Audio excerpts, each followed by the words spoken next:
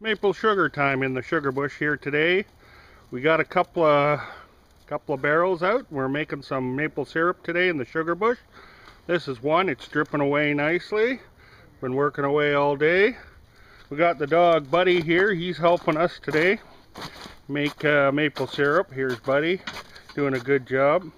If you look over in the distance, you'll see some more more buckets. We got buckets and lids. We got about oh 20 taps in this bush and we're just tapping away and making some maple syrup.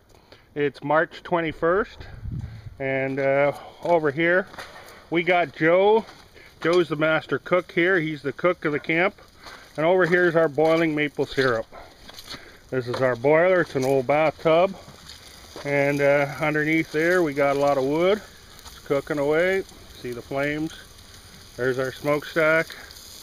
Goes up, and as you can see, our maple syrup's boiling away. We got the master uh, cook and master chef here who knows how to boil and make maple syrup. His name's Gary.